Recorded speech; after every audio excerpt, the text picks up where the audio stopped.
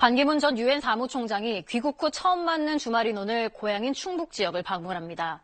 반 전 총장은 자신은 진보적 보수주의자라며 이념을 초월한 통합 이미지를 강조하기도 했습니다. 한상호 기자입니다.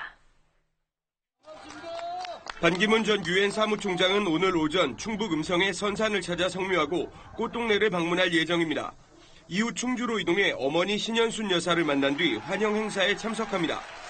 국내 첫 공식 일정으로 어제 국립서울현충원을 찾은 반전 총장은 방명록에 대한민국의 더 큰 도약을 위해 최선을 다하겠다고 적었습니다. 조금이나마 미력이나마 대한민국의 발전에 노력하겠다는 이런 뜻을 더욱 굳게 하는 그 계기가 되었습니다.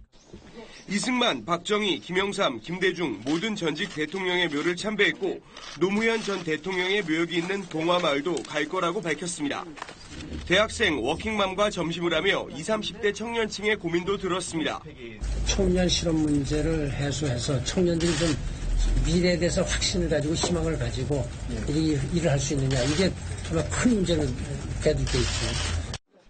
반 전 총장은 자신은 진보적 보수주의자라며 보수와 진보 모두 아우를 수 있다고 밝혔습니다. 유엔이 자신의 재임 기간 성소수자 차별 금지 결의안, 사형 유예 권장 같은 결정을 했다며 대한민국 지도자 가운데 자신만큼 진보적인 생각을 하는 사람이 없다고 주장했습니다.